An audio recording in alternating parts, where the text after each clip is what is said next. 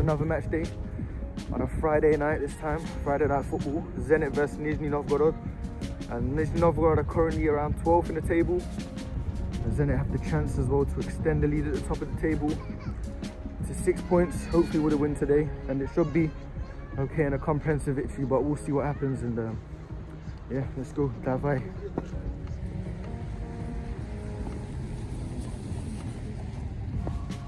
Another fun fact about Russia as well, mobile data is so cheap. So none of that 20 pound a month unlimited, 25 pound a month unlimited. You can get unlimited data for about 400, 500, 600 rubles, which is about four, five, six pound. And uh, yeah, I need to refill now at Beeline because I'm out. So first stop Beeline, second stop Gazprom Arena.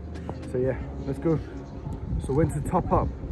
I had no money three times, but the lady was so kind and I topped up 200 rubles. That's two pound. Oh, I'm really broke out here.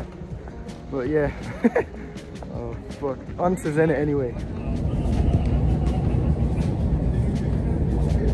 Chronicles of the Metro. The escalator takes at least three and a half minutes to get down.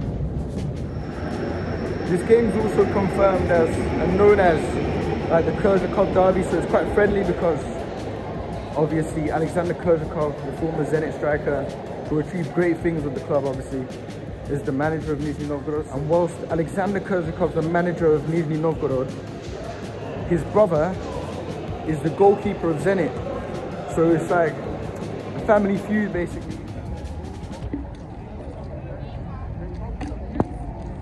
Well, so coming in again, a little few problems with the vaccine, COVID vaccine, and issues because they're saying that this Pfizer one wasn't really initially accepted, but then I had to speak to someone else, and it's an issue because obviously the things going on in Belarus, in Ukraine, having an effect on it, and EU relations obviously with Russia getting more.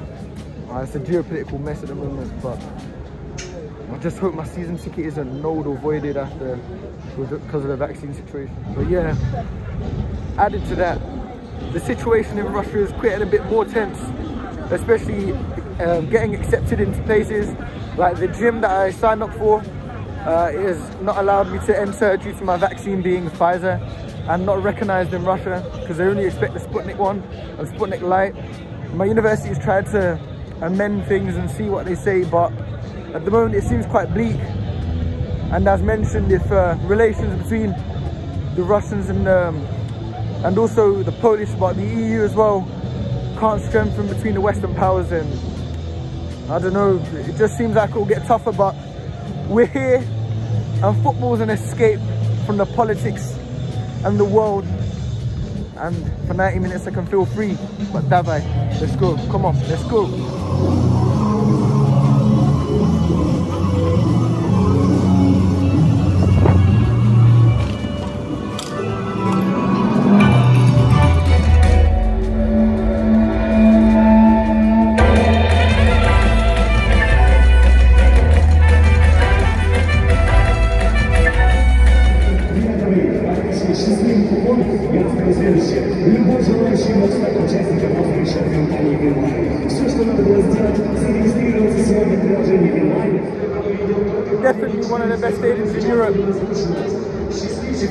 Was the best.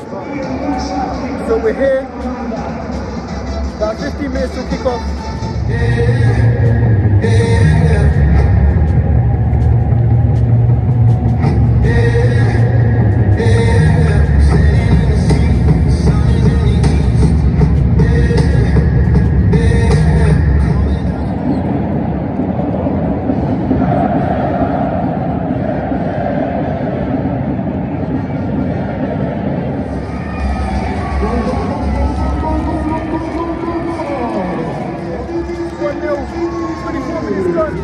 Malcolm. Malcolm with the nice finish into the bottom left corner. Brilliant goal. It's been quite a tense game so far. But now Malcolm's broken the deadlock. Brilliant goal. Gets it. Bye.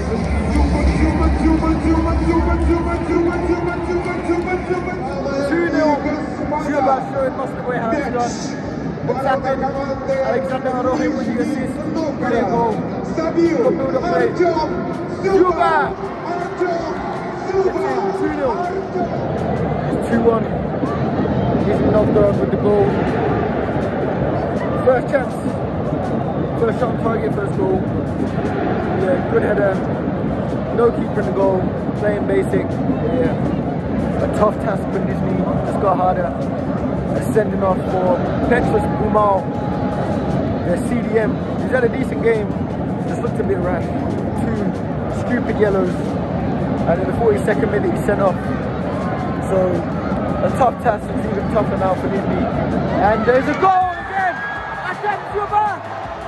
3-1! Artem Dzyuba, what a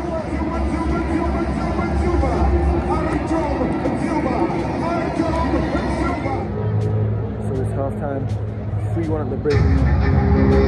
And since the sending off and the goal, it looks reach. And it's just a question of how many Zenit can score today. But yes, it's good hard. Of course, sending off from Petrus Kamal. It's another goal. Artem Dzyuba hat trick now. He's got the goal to make it three.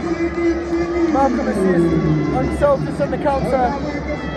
Good goal. And yes, it's cold. Had to zip on my phone and everything, but yeah. 4 1 now. The game's done. It's finished. Trick.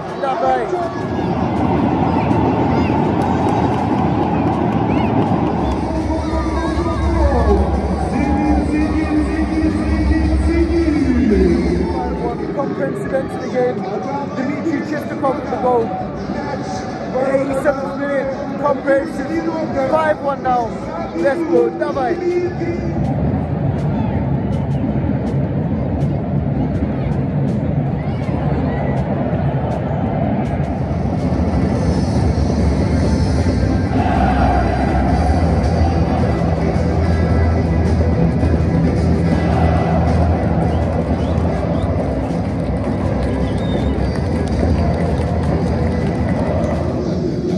10, 5 1, 90 minutes. Mastuba hat trick, Jakov, and also a Malcolm goal. But the red card in the 43rd minute, changed the game. Umal got sent off, and it changed the dynamics totally. And it's never going to be, it was always a one sided game anyway, but that made it, made it far worse, far easier for the Zenit lads to go out and get the victory which they did to make it 5-1. So yeah, it's a good day for Zenit.